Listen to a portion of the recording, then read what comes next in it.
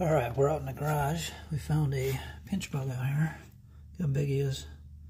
Probably about two inches. Let's see if I can give him a pinch on this pencil. I think the pinchers are for fighting other bugs. Actually, let's get a close-up of them.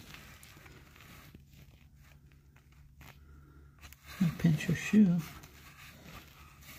Getting angry. Let me get a nice close-up of at his antenna. Pretty cool.